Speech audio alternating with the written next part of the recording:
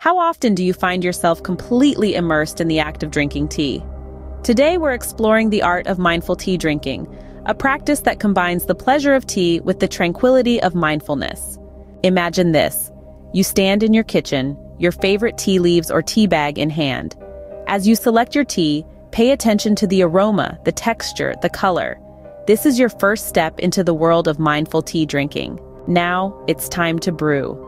Pour the hot water over the tea leaves and watch as the color seeps out, changing the water from clear to a beautiful hue. The fragrance hits you, a comforting aroma that fills your kitchen and teases your senses. Here comes the first sip. Let the tea glide over your tongue, warming your mouth and throat.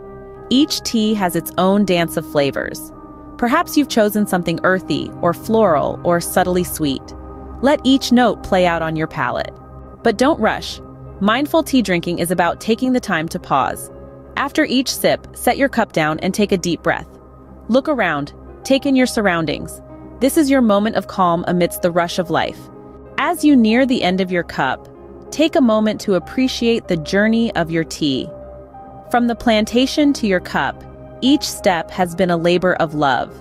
Think of the cultures that have cherished this tradition for centuries, and how you are now a part of this legacy. Before you take that last sip, express a silent thank you for the tea, for the quiet moment, for the time you've taken for yourself. Because mindful tea drinking isn't just about the tea, it's about appreciating the here and now. So next time you find yourself with a cup of tea in hand, remember, it's not just a beverage. It's an opportunity to slow down, to enjoy the moment, and to find a bit of peace in the simple act of drinking tea. And when you do try this, share your experiences.